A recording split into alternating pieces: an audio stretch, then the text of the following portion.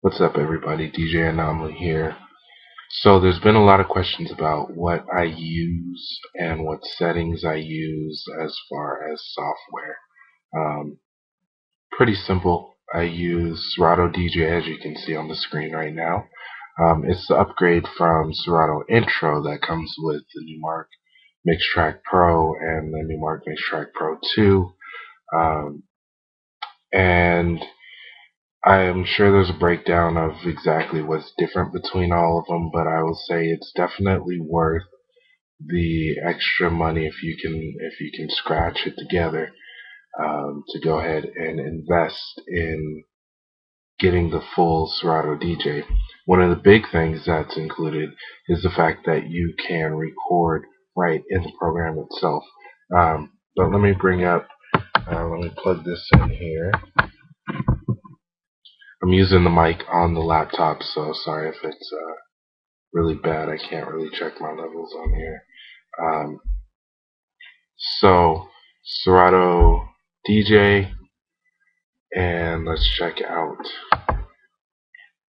So, here's what I've got going on. Um, most of the stuff that I use is actually the default. I don't really change a lot of things, but one of the things that I do change is this little thing right here. And that is the stop time. Um, that's under the DJ preferences in the first pane. The reason why I change it a, just a little bit is because when I stop, I want it to sound a little bit more like an actual record. Um, I learned on turntables. I still use turntables. I love turntables. Um, and so I love that feel. So that helps it.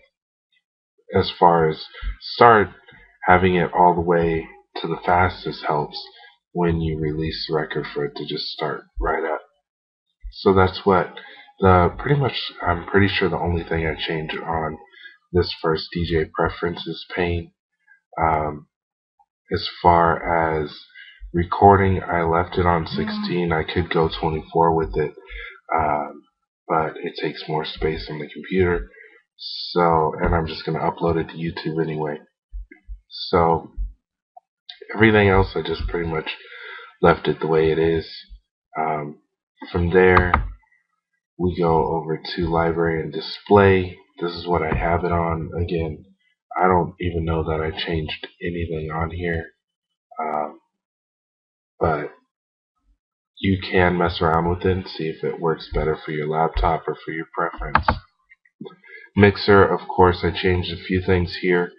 Um, and most of the stuff I left default, but the things I did change was the crossfader. I probably should change the upfader too, but I mainly just scratch with the crossfader. So this is, sorry, my phone is going off over here the crossfader, I have it on the fastest.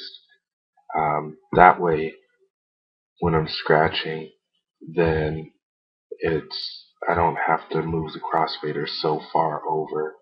Um, you can reverse it, you can disable it, whatever you want to do. Um, but that's one of the main things I changed there. Um, effects, I haven't done anything. I just have the, the standard effects. I might look into getting some more because I love messing with around with those, but I'm pretty old school, so I don't use too much of that.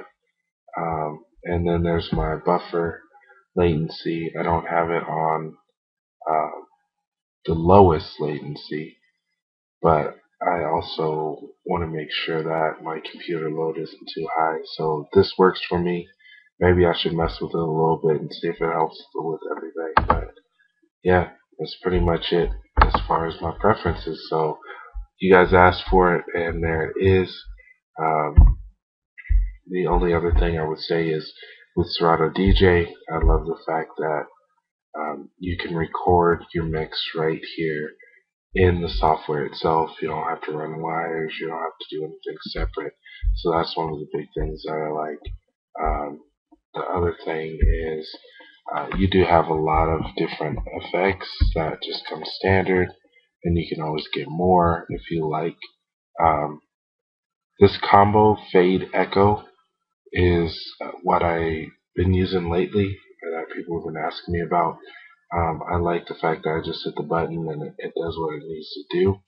Um, but I actually mix it a little bit with uh, this repeater uh, effects also. And so I'll turn this up to about maybe right about here. And it it does it like I'm flipping doubles. And I'll go over video on what that means exactly or you can look it up I'm sure. There's already a video on YouTube flipping doubles. Um, but it's basically taking the same song going back and forth with the same part.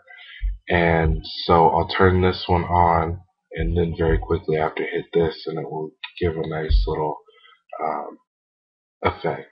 So when people ask what effect I use sometimes it's only this sometimes it's this sometimes I'll use a delay but I don't use a lot of effects. Those I pretty much just leave those ones on. Um, and then the last question that I get a lot of is how do you get that that voice with your DJ name on it? Well, like I've said in many other videos, it's simple. I just hit up a bunch of artists and I asked if they would do a drop for me. They're called a DJ drop. And they just grabbed a microphone and recorded it. And this is obviously my favorite one.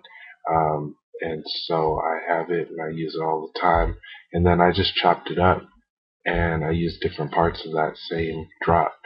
Um, and so that's pretty much it. If you guys have questions, definitely feel free to hit me up. I love answering them. I've been in the game for at least 15 years at this point, so anything that I can do to help, let me know. And I've got a lot more videos on the way. But thanks for watching, guys.